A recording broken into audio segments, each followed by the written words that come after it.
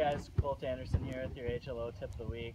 Um, as far as fishing goes, we're probably not going to talk about anything, uh, uh, you know, what to do with presentation or anything that's been working for us because as most of you guys know, we got a tournament coming up Saturday. So we'll keep that on the down low for now, but uh, what we're going to talk about is just clean, draining, drying your boat at the landing, making sure all the weeds, all the invasives, if there are any, are off so you're not transporting them. What we do first here is get all our bait from our live well into our XL Outdoors bucket, Clearwater bait system. Make sure you're draining those live wells. Let's do it first thing once you get your bait.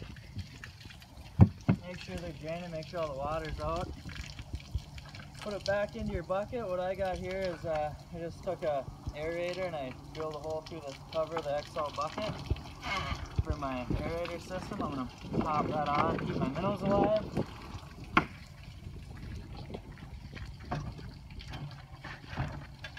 So everything's draining, all my live wells. Hop out here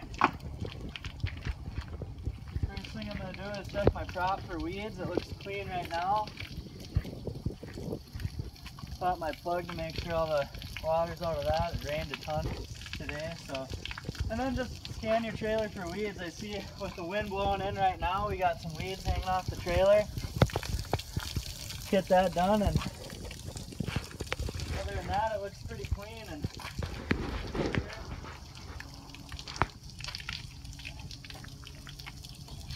You might need to crawl under, whatever, but um, last thing you're gonna want to do is trim down your motor and drain that lower unit.